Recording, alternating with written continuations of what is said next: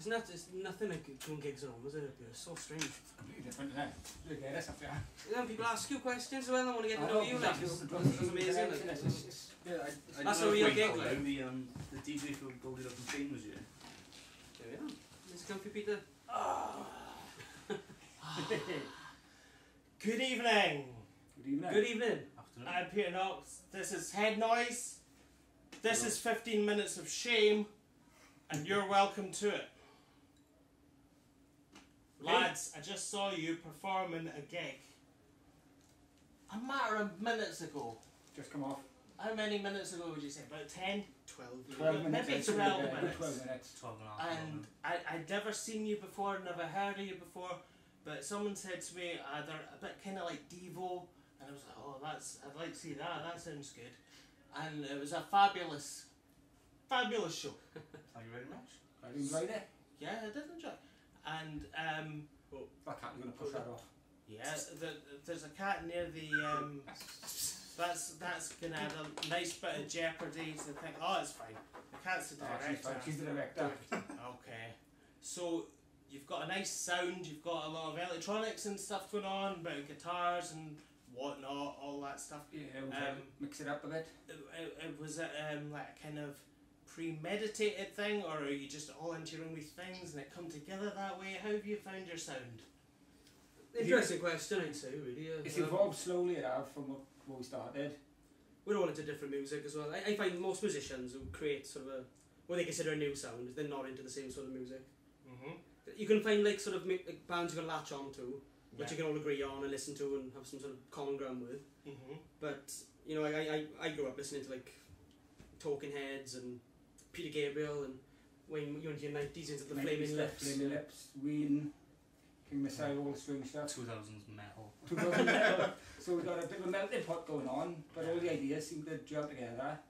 So you turn into sort of quite experimental, interesting, creative stuff, and you're more just into thrashing away. Uh, That's fine. Because you haven't got a drummer, he's the band's drummer basically. I didn't, I didn't even notice you didn't have a drummer. He's just very small at the back. Yeah. You And very happily. iPad sized. Hey. I passed his drummer. You He, use he tech- needs a name, he does. Use technology to supply beats. Yeah. It's easier. Yeah. It And it's is not as easier. loud. Yeah. We can On set it time. up and it's got a different dynamic because we have thought and toyed about possibly having a drummer, Mhm. but we think it would just turn it into a normal band dynamic. Well, obviously, we're good Uh-huh. band dynamic, but it, w- we're slightly different at the moment with the drum machine and everything. You know, Yeah, yeah. it picks people's ears up and be like with you, and you know. Do you find it restrictive, or sometimes having restrictions can make you more creative? Uh, I'm not trying to answer the question for you, although You did. I, kind, I, I guess so. Like we can't really jam. You can't we can't jam, sit you down with That's people. And have a jam. we all go off and make our own parts up Yeah. together, you know. But I think it's good to do that because we've all had time to listen to the songs apart and take apart what we like about them and suggest certain things, and we all come to some agreement at the end when the song's finally recorded Yeah. then or performed live. the jam bands are really boring anyway. It's, it's better to be a bit You more could- you could just Grateful Dead. No. premeditated. 45 minutes of a drone in E type thing, like, you know, and uh, Yeah. it goes on and on, on and on. That's not art. That's not art. It is a little bit. I, I, I'm not a critic. I don't know. I don't fuck all about art. How long? This is a quite a quite an uninteresting question, but I do want to know. Uh, how long have you been playing together? About ten minutes now. we just do this together. No way. That's a No. fib. It's been um, That's a pork pie. it's been a couple of years, hasn't it? A couple of years. Have you been in other bands? We're, we're Oh, actually in other bands together as well, so Oh right. Okay. This This, is is, this, this is the one we're all focused on. I believe. Yeah. Uh-huh. This is the one we all believe. This is the one we can be ourselves. this is our, yeah, which is Yeah. the pinnacle of the our c- creative output, I, I guess. it, it's quite uh it's I don't know it's quite a poppy sort of sound but also while being sort of avant-garde and pretty interesting as Yeah. well so um I don't know you could be a big pop star or something couldn't you I am a pop Mitch- star. Mitch is a pop I'm a star. pop yes. star. Everyone knows this. yeah But that's we, true. funny enough, we were discussing this on the way down that um, we, even though we're trying, you know, there's a bit of experimental and a bit of, like I say, Devo and the electro stuff going on, there's still a pop sensibility about it. I love pop music, but I love good pop music. Good. Yeah. Depends when it's from. Yeah. Yeah, the era, era plays a, era plays a big part because you look at songs like Johnny May, where Robert bloody Palmer and like some Toyah songs in the eighties, and they're awesome pop songs. But people look at them as pop acts. Now you look at them as like interesting experimental people from their Yeah, era. You know, it's yeah. strange. and then something that I think about, you know, there's like, um, you know, that song One by U2, which I think's an awful song. But then Johnny Cash does a cover version of it, and you're like, oh no, it's actually an amazing song. So that, Well, that that's that's the other thing is what's how you produce the song and you know like you say it's the same song but then definitely the same as Nine Inch Nails Hurt and Johnny Cash. Same thing, Mhm. you know. You should hear our cover of Walk Like an Egyptian. Egyptian. I Yeah. think, I think you'd enjoy that one. yeah, we've electrified it up a touch. And you, you did a nice cover version tonight at the end. It was Chemical Brothers, Hey Boys and Girls, and then it went into, is it the Vines? Yeah. Yeah. And then right at the end, get there's a, free? little, there's a little Yeah. snippet of um, Smashing Pumpkins at Yeah. just for me. Oh, I didn't notice that. it's cool when they pick up on the Vines stuff and the other little bits. of I love the Vines. I, people it's great. tend to say like you know, oh, they're those Nirvana rip-off bands from the noughties, but they're cool. I like them. yeah, Factory is a great song. Factory's amazing. that's some great songs. Yeah. And They're not, they're not a great band, but they have some great songs. Yeah. That's alright, isn't it? And that is our kind of jam because we meld three songs into one at the end. So that is our our jam phase done. Do you play a lot? We try.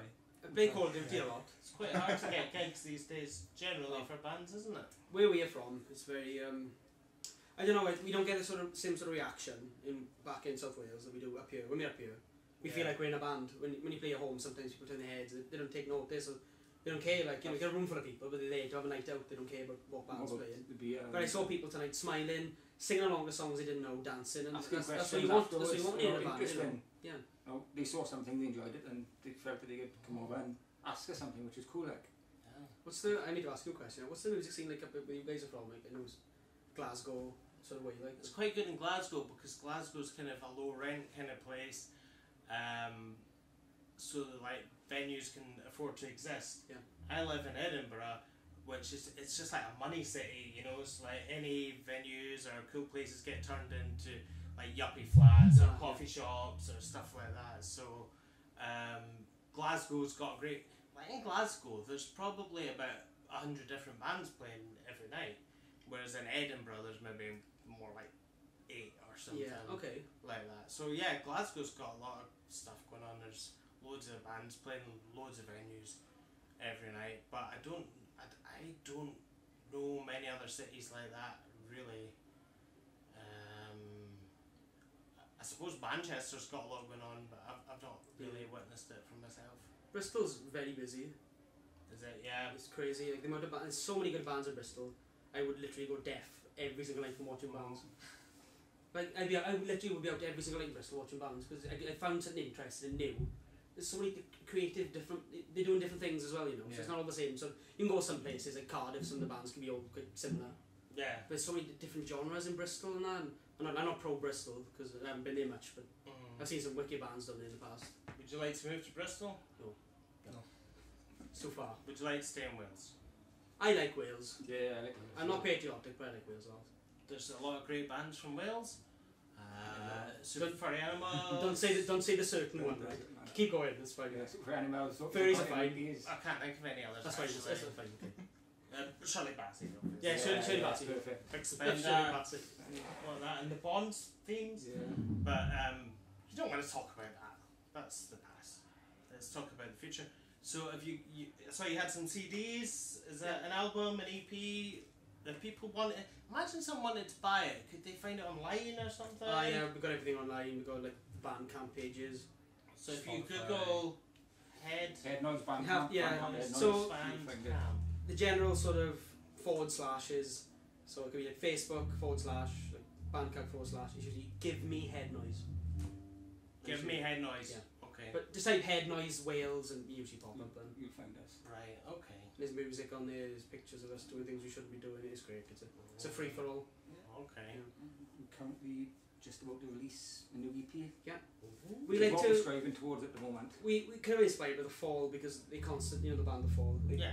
they constantly releasing so many things all the time, and we like that. But we haven't got enough time to make an album, so it's usually singles, EPs, mini albums, and we're on like seventh release now, I think maybe. Yeah, something like that. But yeah. I, I like having a, a, a big discography because I've never really been in a band where you can release so many things.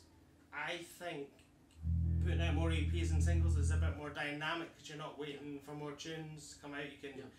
you know, come up with your record them, get them out, and then you can move on. So Well, that's it. You know, you can um, like an album is do an album, takes a year, release it.